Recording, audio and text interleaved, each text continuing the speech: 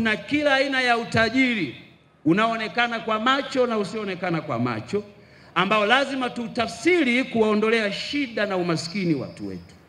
Mheshimiwa Rais anatamani kupitia sisi wasaidizi wake tubadilishe rasilimali hizi kuwa utajiri, na ndio maana sikushangaa waziri wa madini alivyokuja na Vision 2030 madini ni utajiri na heshima. Naomba tutumie fursa hii ya kutumia vision hii ambayo Mheshimiwa waziri wa madini amekuja nayo, tuitumie kwa ajili ya kuwaondolea watu umaskini. Sekta yetu ya madini imekuwa ikitoa mchango mkubwa kwenye taifa letu na maendeleo ya mtu mmoja mmoja. Mfano mzuri ni wale mliozaliwa au kukulia Geita, mojawapo nikiwa mimi Mheshimiwa Waziri, ni madini yameibadilisha Geita. Ukiona utajiri ulioko Geita, ni madini yamebadilisha maisha ya watu. Kila unachokiona Geita kwa sehemu kubwa ni madini yamechangia katika kuleta mabadiliko haya. Ustawi wa sekta nyingine ikiwemo kilimo, viwanda, uwepo wa mabenki, ujenzi, kilimo na usafirishaji, mawasiliano na msambao wa nishati na barabara havikuja kwa bahati mbaya, kwa kiwango kikubwa vimechagizwa na uwepo wa sekta ya madini. Mheshimiwa Waziri, sekta ya madini kwenye mkoa huu ndio moyo wa uchumi. Wewe umekabidhiwa jambo muhimu la kuendeleza sekta hii na hivyo kuendeleza uchumi wa watu wetu. Serikali ya awamu ya sita itaendelea kuweka mikakati ya uendelezaji wa sekta ya madini katika mnyororo mzima wa thamani kwa kuzingatia maendeleo ya mchimbaji mdogo, mchimbaji wa kati, mkubwa pamoja na wafanyabiashara wa madini ili kushamilisha shughuli za uwekezaji. Nimesikia vile vile uchenjuaji wa madini unaundiwa kanuni mpya. Nataka niwatie moyo na kuwahimiza, kamilisheni haraka kanuni hizi ili wachenjuaji wa madini na wao waweze kutambulika, waache kuwa wanaonekana kama watu waliopangishwa kwenye nyumba ya baba mwenye nyumba mkorofi, wajione kama Watanzania wa daraja la juu, na mwisho wa siku waji, waongeze kodi kwenye nchi yetu. Ndugu washiriki, zima ya serikali iwasha kuwa wananchi wanatumia kila rasilimali zao wenyewe kujiletea maendeleo bila kujali itikadi za kisiasa, kikabila, kwani swala la maendeleo linahitaji ushirikiano na mshikamano wa watu wote.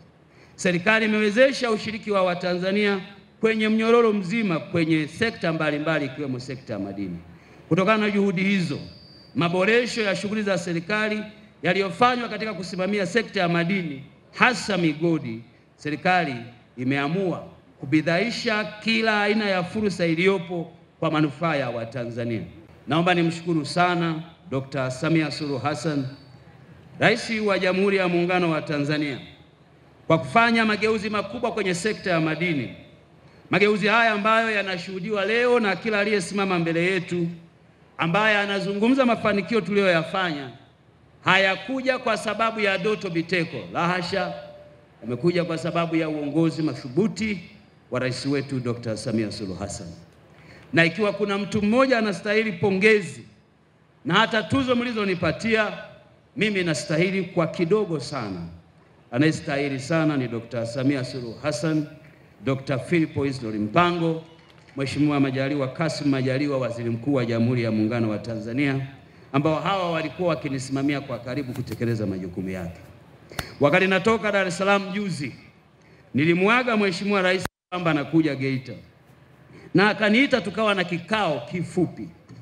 Moja ya mambo aliyoniambia, unaenda Geita kufungua maonyesho ya madini, kanifanyie kazi mbili zifuatazo. Kwanza, nipelekee salamu zangu nyingi kwa watu wa Geita, waambie na ukumbuka ukarimu walionifanyia nilivyokuja Geita, waambie na ukumbuka wingi wao walivyonilaki kuanzia viwanja vya ndege Chato na baadaye kwenye viwanja vya Geita na hata kuniaga kwenye viwanja vya Runzewe.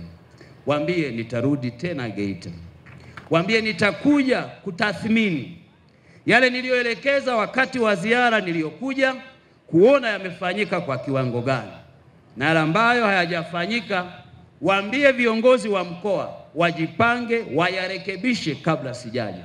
Mheshimiwa mkuu wa mkoa, Mheshimiwa Rais anasema yarekebisheni kabla hajaja, lakini hata kabla rais hajaja yarekebisheni wakati na mimi nikiwa hapa. Kabla makamu wa rais hajaja, na kabla waziri mkuu hajaja. Mheshimiwa Rais ameniambia jambo la pili, baada ya kuwa amewapeni salamu, ameniambia niwaambie, chapeni kazi, tembeeni kifua mbele, jioneni Watanzania wa daraja la juu, jithaminini. Serikali yake ipo kuwahudumia ninyi, haitafanya chochote kinyume na matakwa ya wananchi, kwa sababu serikali yake ni zao la matokeo ya wananchi. Na mimi nasimama hapa kama wakili mwaminifu, nimetathmini ziara zake zote, hata za juzi mikoa ya Lindi na Mtwara. Mheshimiwa Rais amekuwa akipambana kwa ajili ya wananchi.